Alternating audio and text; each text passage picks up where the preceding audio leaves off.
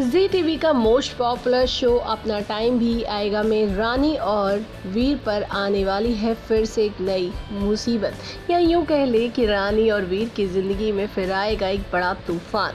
जी हाँ दोस्तों, यानी कि आने वाले ट्रैक में आप देखेंगे कि हॉस्पिटल में एडमिट है एक शख्स, जिसे देख कर के वीर के तो मानो होश उड़ गए हैं।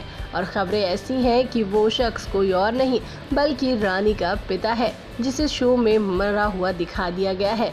लेकिन आखिरकार अगर ये रानी का पिता है तो फिर रानी जब अपने पिता को ज़िंदा देखेगी तो उसे कितनी ज़्यादा खुशी होगी। साथ ही साथ रानी अब ये पता लगाने की कोशिश करेगी कि आखिरकार इस समय पर उसकी पिता की जो ये हालत है, वो किसकी वजह से है। यानी एक बार फिर से रानी और वीर अपनी ज़िंदगी में फिर से एक नए सस्पेंस के साथ अपनी नई कहानी को शुरू करने वाले हैं। साथ ही साथ दोस्तों, देखना ये इंटरेस्टिंग होगा कि क्या रानी और वीर लगा पाएँगे सच्चाई का पता। क्या होगी आगे शो की कहानी? जानने के लिए जुड़े रहिए हमारे साथ। चैनल को सब्सक्राइब कीजिए। एंड बेल आइकन का बटन प्रेस करना बिल्कुल ना भूलें।